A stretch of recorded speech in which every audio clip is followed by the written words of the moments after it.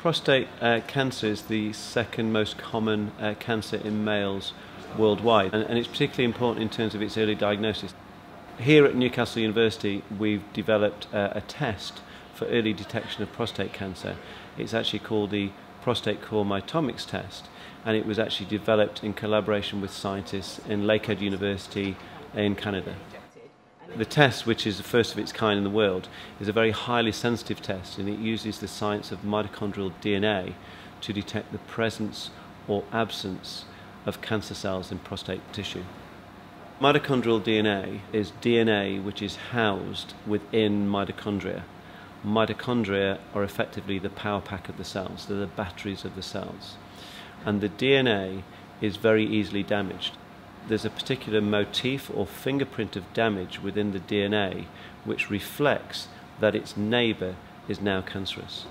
And so, what the test allows us to do for prostate uh, cancer is to actually determine that even though you only see part of the tissue which is affected, it enables us to find out whether the rest of the tissue is also cancerous as well. In practical terms, this is very important because at the moment, conventional tests use a, a biopsy but the problem with a biopsy is the fact that actually in, within a field you have to hit the target. You have to hit the part of the tissue which is cancerous. If you don't, you get a negative test.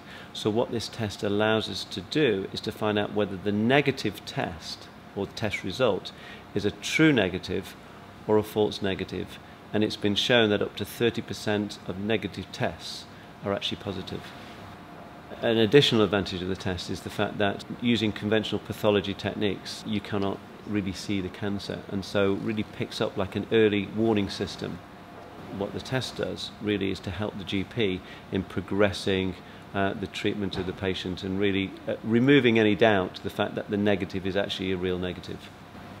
So, in terms of patient benefits, the patient does not have to go through another biopsy. The good news about this test is it uses existing biopsy tissue. The prostate core mitomics test is just been launched, uh, well, in 2011 in North America. So obviously one step is to actually uh, make the test more widely available, but it's actually been the result of almost seven years of scientific laboratory work. So this is scientists in Newcastle University and over at Lakehead University in Canada have spent seven years working on this. So it's a very exciting stage.